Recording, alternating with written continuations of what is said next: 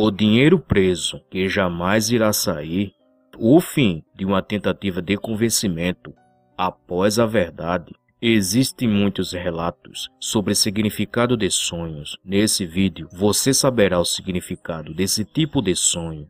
Curta esse vídeo e se inscreva se ainda não é inscrito. Quando todos estão usufruindo de uma vida supostamente confortável, ele ou ela, com tendências a guardar, ou melhor dizendo, não gastar os seus recursos em seus pensamentos, sempre alguém querendo tirar vantagem, proveito dessa situação econômica. A pessoa que sonhou identificou essas características em alguém de quem ela necessitou ajuda e mesmo com todas as desculpas sólidas dadas por ele ou ela, não conseguiu compreender porque a ajuda. Ela nunca veio.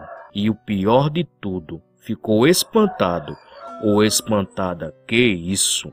Já vinha acontecendo com todos. A pessoa que vive com esse sentimento nunca irá ajudar ninguém, ela própria renunciou todos os seus direitos nesse mundo de ter ao menos uma vida básica, confortável em seus pensamentos. A ideia de que todos, absolutamente todos, apenas se aproximam dela para tirar vantagem, a desconfiança de novos amigos e amigas, a fuga desesperada do contato com familiares, a renúncia de coisas simples da vida, para não ter que ver seu dinheiro sair de suas mãos.